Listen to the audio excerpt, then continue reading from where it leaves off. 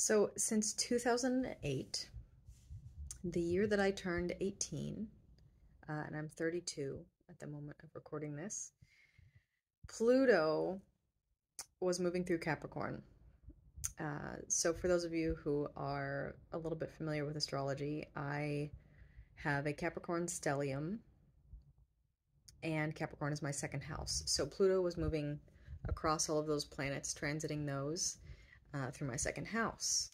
And since it just moved into Aquarius, I thought I would share with you a few of the big things that this has taught me because this has been happening for all of my adult life and has just started to turn a corner. And my goodness, was it a ride!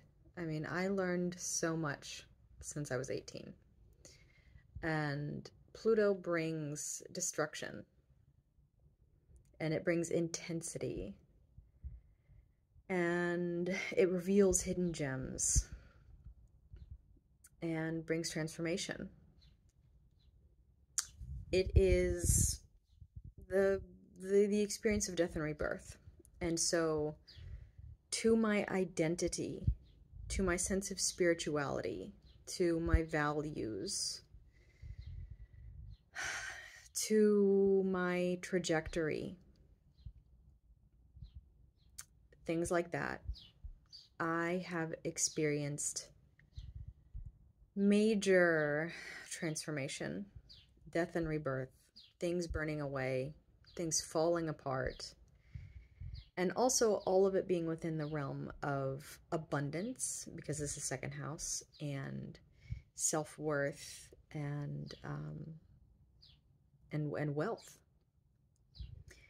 So a few of the main things that I learned. One of those is that you cannot control or manipulate anyone or anything into making you f- feel secure and loved. Doesn't matter what sort of degree you have, doesn't matter what sort of relationship you have, doesn't matter what car you drive. None of that matters. None of that is a representation of true worth. And none of that is true security. Yeah, sometimes, I mean, we see situations in which okay like maybe your salary is a is a representation of uh, how good of an accountant you are or something like that. But that's not your true worthiness. If we're talking true, unshakable, infinite, abundant worth and security, that is only internal. Everything external is going to fall away. Everything external is going to disappoint you or hurt you eventually. And all you will have left is you and God, Source, life, the universe. That's all you're going to have left. And so finding security and worthiness there is possibly one of the wisest things that you can ever do. And sometimes that only happens because you lose everything and you have to find that inner strength, that that inner reserve of security and love and abundance and worthiness.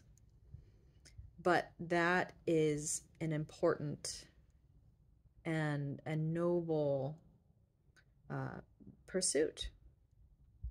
And it's hard work. It doesn't come easily to find that sort of security.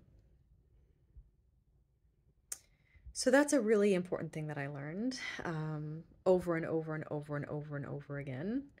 And another thing I learned is that we can be living from the fear of not being loved and of not being worthy and have no clue. No clue. We can be doing all sorts of things trying to make sure that we are loved, that we are liked, that we are accepted, and have no idea that it's out of alignment. No idea that it's that it's actually rooted in pain and trauma uh, or the devil, you know, however you want to see it, we can have no idea that that sort of stuff can be running the show. No clue. We can think that it's really something that we want and that it is actually really important to us that we have this job or that we have this relationship, that it's part of our purpose. No, a lot of that is nonsense. That's a very unpopular opinion, but oh my goodness, I have seen that to the depths and back in myself and in other people uh, with this this experience, with this very plutonic experience since I was 18. Um, so that's a big one for sure, and that's um, that's another one that comes with with some life lessons uh, hard lessons. That's all of this, you know, all of this that I'm sharing with you right now. This has come from hard lessons.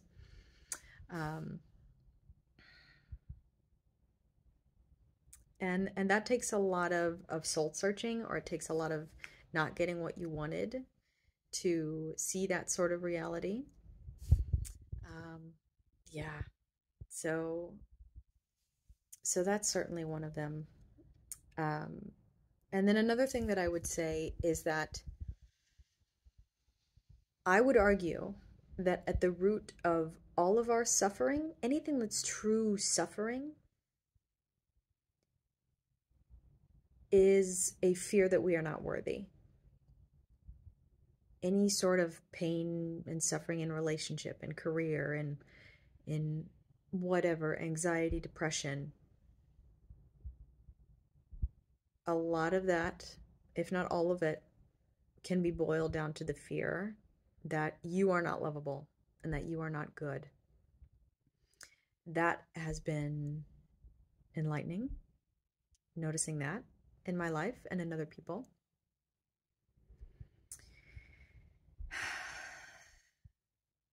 hmm. And so something else I would say is that you know you you will live your life as a, a bottomless pit that cannot be filled with anything until you learn what true worthiness is, until you learn what true security is, until you find that inner source of abundance until you find the true source of abundance and wealth. Then you will be a bottomless pit um, that, that just cannot be filled. And you will experience a lot of depression and anxiety until you can find that place. That is the cure all. That is where where you find God that is where you find oneness. That's where you find connection to the universe. That's where you find the source of love. And that is not a small thing. That is everything. That is everything. And then a few other things I've learned would be like your identity is not what you think it is. It's not as important as you think it is. Spirituality is not in a stick of Palo Santo. It's not on the yoga mat. It's not in a church pew.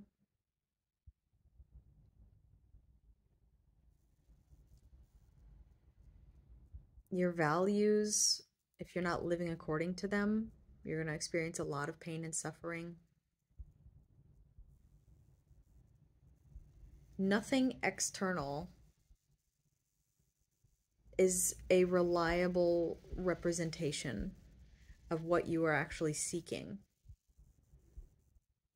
You're, you're not going to find wealth and abundance and security and comfort on the outside. Those things are internal. The external stuff matters. It does matter.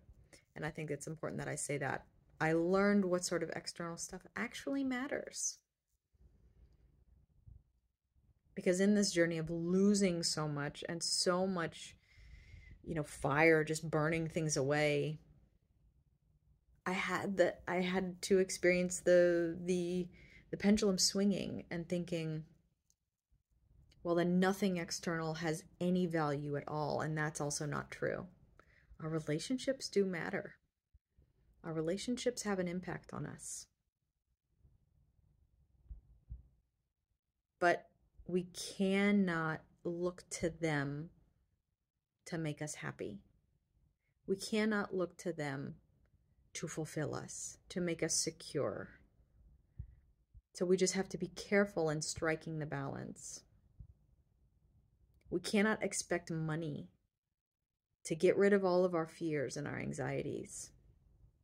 We cannot expect our job to to fulfill us constantly and and and and be happy and and you know be loved and wanted constantly because of what we're able to do in our career or our job or whatever. There is a balance. There are certain expectations that we can have of those things and then certain expectations that we cannot pin on those external things so it's been a really interesting journey I'm grateful for it in a way. Um, Pluto is intense. And since I was 18, especially, things have been very intense and have transformed in this way where, to many, I am unrecognizable. and have changed a lot. But it's because everything that was there before was not real. And that's what Pluto will do. That's what Pluto can do. It will burn away everything that is false and it will reveal the foundation. It will reveal hidden gems. So that's what it's been like. I don't know if any of those those lessons are of value to you, but um, I've had a particularly special experience with Pluto.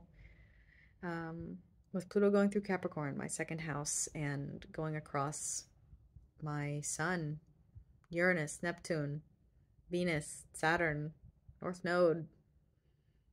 Got a lot going on in Capricorn. So I thought I would share for that reason, and I hope that it is a value.